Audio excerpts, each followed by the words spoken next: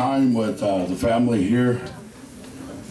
Many times over, uh, this man came and played with us. We always met up in Arlee. Many times over, we played against one another. Many times. And then in time of need, we'd team up. We'd team up and then we'd play together. We shared many songs together from this country. And all I could say is I know the family has lots to do, so we don't want to take up too much time. And I'm just very honored and thank the family for giving us this time to sing for you all.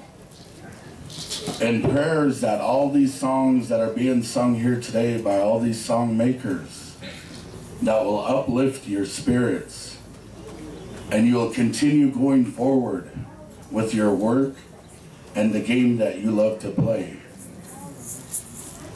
I wish you all well and good luck to each and every one of you. Hi.